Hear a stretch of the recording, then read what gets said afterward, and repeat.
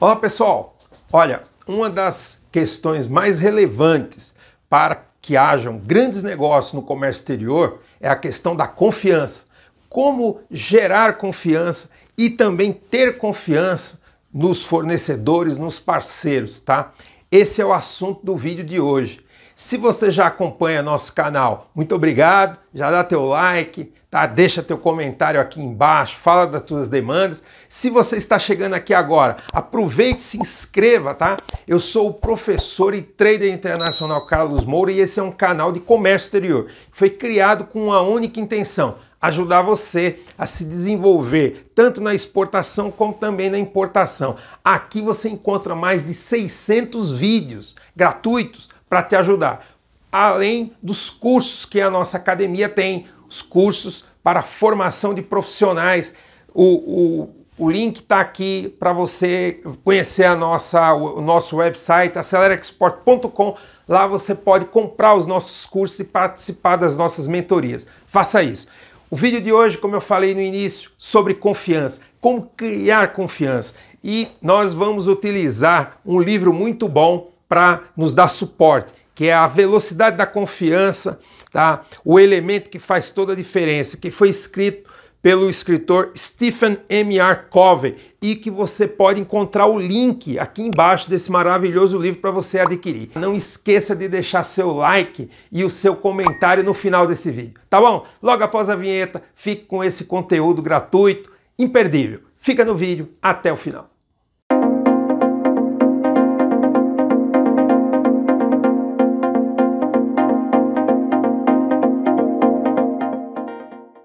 Bom, pessoal, sem perder tempo, vamos direto ao conteúdo. Como eu falei na introdução desse vídeo, nós vamos falar de como criar um ambiente de confiança tá, nos negócios internacionais. Esse é o tema que você vai assistir a partir de agora.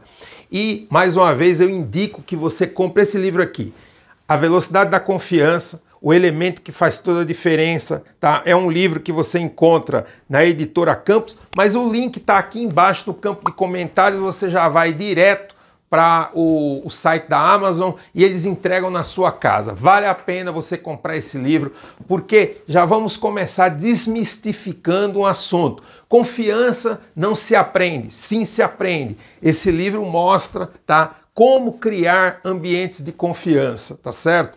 Outra coisa, se perder o processo da confiança, não dá mais para restaurar. Também dá. E é isso que nós vamos ver a partir de agora, tá certo? Usando os conceitos do livro e a nossa experiência de mais de 30 anos no comércio exterior, nós vamos falar agora sobre confiança.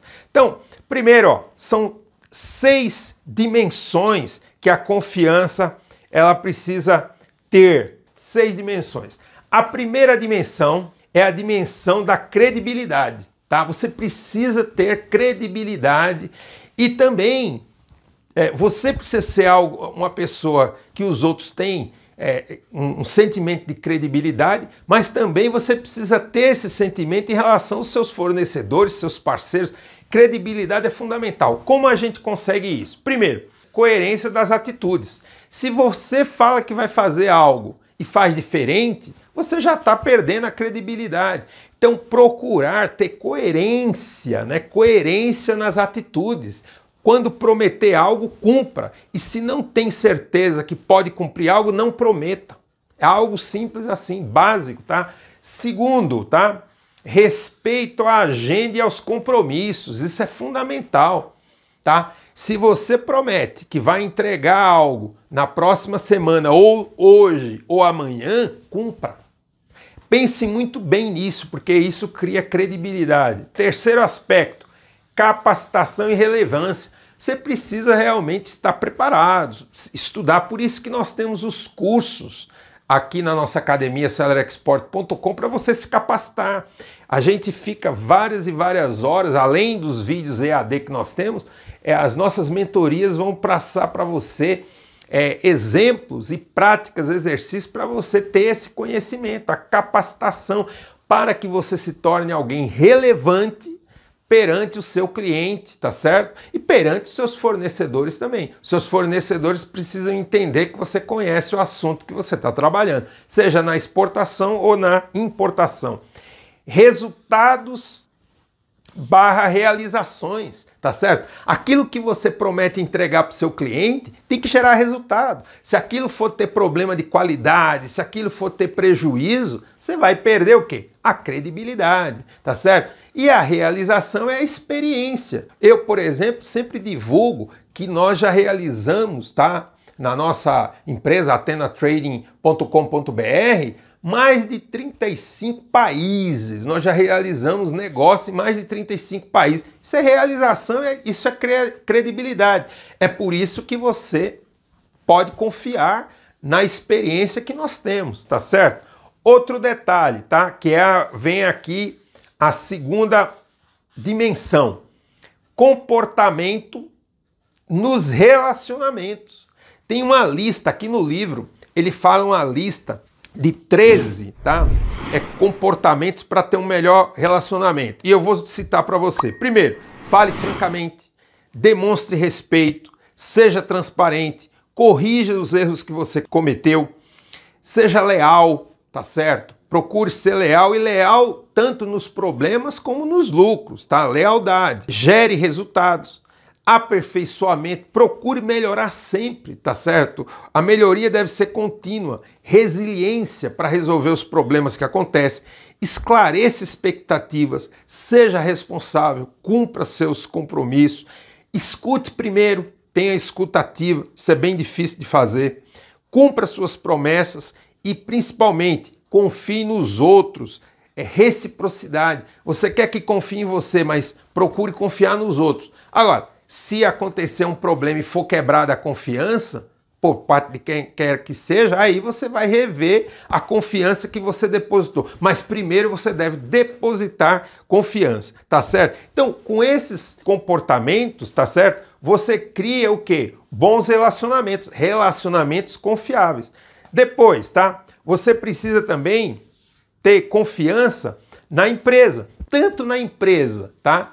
Que você representa, que no caso ou é a indústria que você trabalha ou a que você representa, seja aqui no Brasil ou fora, tá certo? Você precisa confiar. Então, para confiar, você precisa o quê? Conhecer. Se você não conhece a empresa que você representa ou que você trabalha, como que você vai poder confiar? Mas precisa confiar, porque como é que você vai passar para o seu cliente algo se você não confia? Na, na própria voz é percebido a, a falta de, de confiança que você tem. E na hesitação o cliente não compra e não começa, tá certo? Então aprenda isso aí. Quarta dimensão, tá? Quarta dimensão, vou até corrigir. Terceira, quarta, quinta e sexta dimensão, tá? Então, vamos falar agora confiança no mercado. Empreendedorismo, seja no mercado doméstico ou no internacional, depende de muitos fatores, tá? E você precisa correr riscos calculados. Agora, se você não confia no mercado e não tem uma expectativa positiva, como que você vai passar isso para frente? Não há formas. Então você precisa ter uma visão otimista para que gere confiança de ambas as partes, tá certo? Porque o fornecedor também não quer continuar fornecendo para um mercado que não vai crescer, que não vai. Agora, tudo isso tem que ter dados, tem que ter indicadores, números, para que isso possa ser confiável. Você não pode confiar cegamente. Você precisa ver as tendências. Logo, precisa muito estudo. Então, a confiança no mercado depende de você estudar o mercado. E informações, dados, você tem hoje o Google, que é uma infinidade de, de informação e, e atualizada. Pesquise, veja as redes sociais, diversas plataformas para buscar informações relevantes sobre o mercado. Quinto aspecto, tá? Quinta dimensão. Confiança nos parceiros, nos fornecedores, e em alguns casos, as empresas que têm acionistas, você precisa também confiar né, nesses acionistas. Então, é confiar na rede de contatos que entrega tá, o serviço ou o produto. Sem essa confiança também não dá. Porque você pode confiar na sua empresa, mas e os seus fornecedores? Você tem que ter padrões de qualidade para tudo isso aí. Tá certo, pessoal? E por último, para a gente fechar as questões da confiança, tá? Você precisa ter confiança no, no ambiente regulatório, tá? No ambiente regulador, que em última instância é o quê? Você precisa confiar no Estado e no governo. Aqui no Brasil nós temos sempre um problema muito grande sobre isso, mas existem países, tá certo? Como os países é, da África, os pa alguns países asiáticos, tá certo? Os países considerados primeiro mundo é onde o nível de confiança é muito alto. Veja, quando os Estados Unidos aumentam o nível de juros que eles pagam, tá? e o anual não chega a 2%, veja que o Brasil tem que dar 13%. Quando, se os Estados Unidos oferecer juros anuais para as aplicações de 4%, metade do capital do mundo vai para lá. Por quê? É porque eles falam inglês? Não. É porque se confia naquele ambiente regulador. Então, precisamos construir aqui. E isso depende não só do próprio governo, mas depende de todos nós termos essa consciência. É assim que se cria confiança. E o comércio exterior não é diferente. No próximo vídeo eu vou procurar, inclusive, estender mais o assunto, tá?